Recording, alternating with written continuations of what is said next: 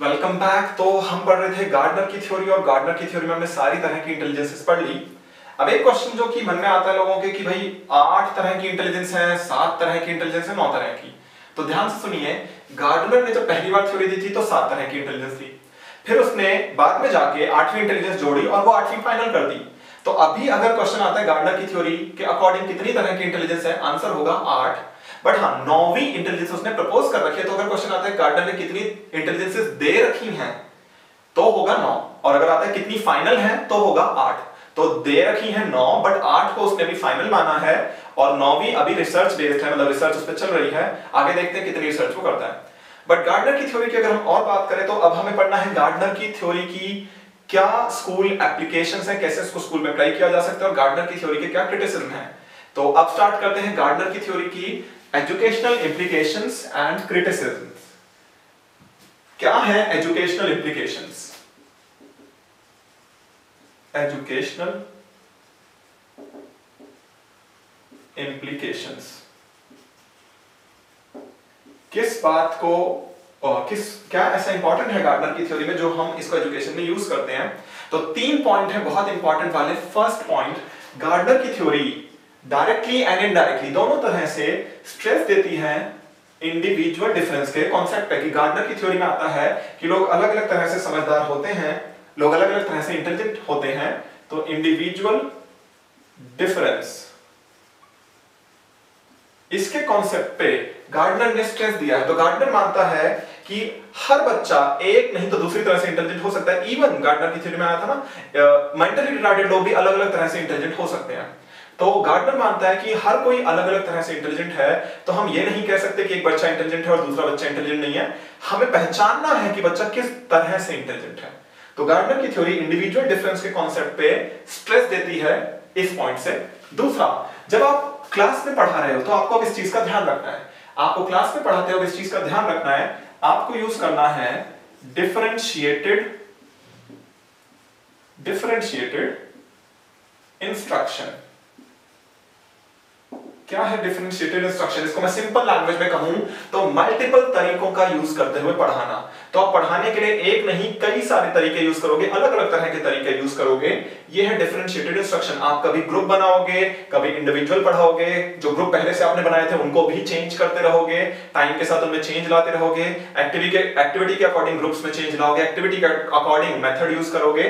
तो there will always be change हमेशा change लाते रहोगे आप पढ़ाने के तरीके में। तो पढ़ाने का तरीका इंस्ट्रक्शन और डिफरेंशिएटेड मतलब अलग अलग तरीकों से पढ़ाते रहो। तो आप क्लास में पढ़ाने के लिए अगर एग्ज़ाम्पल दे रहे हो तो एग्ज़ाम्पल एक नहीं, कई तरह के दो अलग अलग फ़ील्ड से दो, वो डिफरेंशिएटेड इंस्ट्रक्शन है। पढ़ाने के लिए आप ग्रुपिंग्स कर रहे हो तो ग्रुपिंग्स को भी चेंज करते रहो।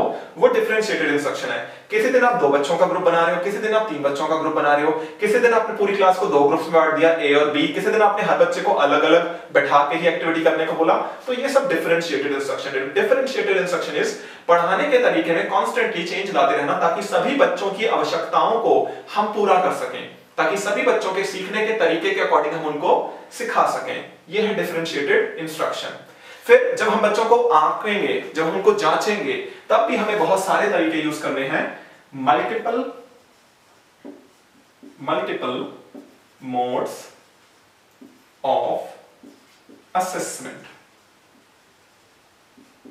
multiple modes of assessment तो गार्डनर की थ्योरी इस बात पर भी स्ट्रेस देती है कि हम जब बच्चों को आंकें, उनका आकलन करें, उनका असेसमेंट करें तो भी हम बहुत सारे तरीके यूज़ करें, क्योंकि बच्चे अलग अलग हैं तो एक बच्चा एक तरह से अच्छा है, दूसरा बच्चा दूसरी तरह से अच्छा है, तीसरा बच्चा तीसरी तरह से अच्छा है तो हम सिर्फ़ एक तरीके पर डिपेंडेंट नहीं रहेंगे, हम बहुत सारे तरीकों का यूज़ करेंगे, बच्चों की एबिलिटीज को पहचानने के लिए, उनका आकलन करने के लिए, ठीक है? तो ये है तीन पॉइंट्स जो कि गार्डनर की थ्योरी के एजुकेशनल इंप्लीकेशंस कहे जा सकते हैं बट ये सिर्फ़ गार्डनर की थ्योरी की नहीं हर मल्टीपल इंटेलिजेंस की थ्योरी के इंप्लीकेशंस हैं और हर मल्टीपल इंटेलिजेंस की थ्योरी इन तीनों पॉइंट्स पर स्ट्रेस देती है। ठीक है? तो ये थे एजुकेशनल इंप्लीकेशंस अब हम बात करते हैं गार्डनर की थ्योरी को क्यों क्रिटिसाइज किया गया? किस बात को लेकर गार्डनर की आलोचना की जाती है? Criticism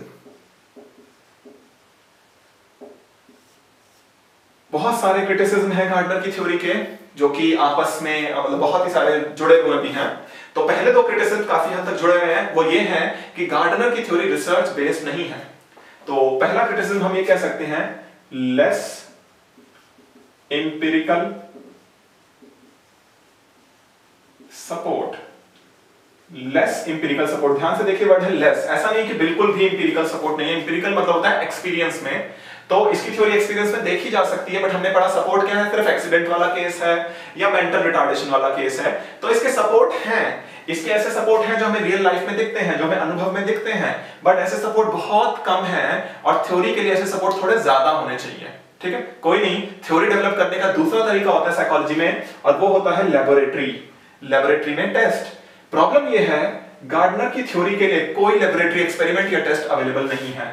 No lab test are there तो कोई टेस्ट नहीं है, कोई लेबोरेटरी टेस्ट नहीं है, कोई ऐसा एक्सपेरिमेंट नहीं है कि हम गार्डनर की थ्योरी को वेरीफाई कर सकें। आप ऐसा नहीं कर सकते कि कुछ बच्चों को लैब में लेके आए रिसर्च करने के लिए कि दिमाग के एक हिस्से पे चोट आने पे दूसरे हिस्सों पर क्या इफ़ेक्ट पड़ता है। तो लैब में लाके अपने बच्चे के दिमाग के एक हिस्से पे हथौड़ी से चोट कर दी और चेक कर रहे दूसरे हिस्सों की इंटेलिजेंस गई कि नहीं गई। तो ऐसा लीगल भी नहीं है और ऐसा बहुत अच्छा भी नहीं है, ऐसा करना। दूसरा कोई नेचुरल टेस्ट अवेलेबल नहीं है। तो हम ऐसा कुछ कर ही नहीं सकते कि हम गार्डनर की थ्योरी को लेबोरेटरी में वेरीफाई कर सके कि हाँ ये सही है या नहीं है।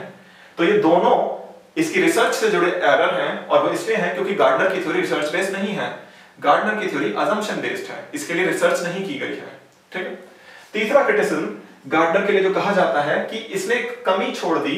इसने बोला intelligences are not interrelated but देखा गया intelligences are actually interrelated तो इंटेलिजेंसेस जो है, वो आपस में इंटर रिलेटेड है बट गार्डनर कहता है आपस में इंटर रिलेटेड नहीं है।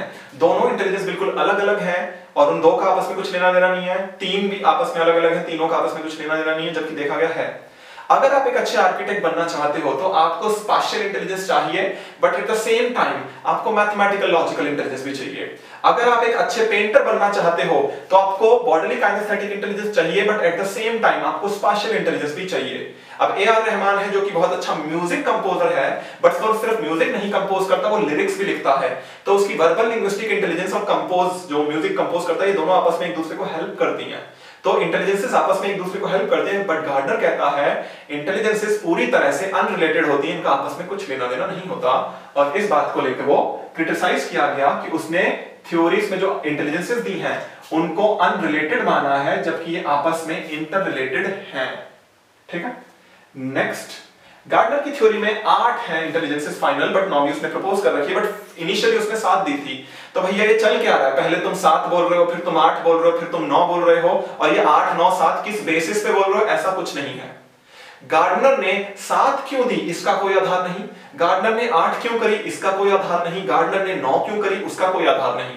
तो गार्डनर ने जो नंबर ऑफ़ इंटेलिजेंस बताए हैं, उसका कोई आधार नहीं है, और यही है क्रिटिसिज्म कि ये जो गार्डनर ने टाइपिंग मतलब टाइप्स बताए हैं इंटेलिजेंसेस के, वो है arbitrary arbitrary classification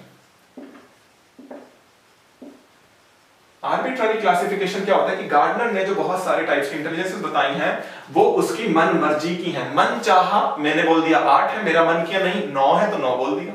उसके पीछे कोई आधार नहीं है।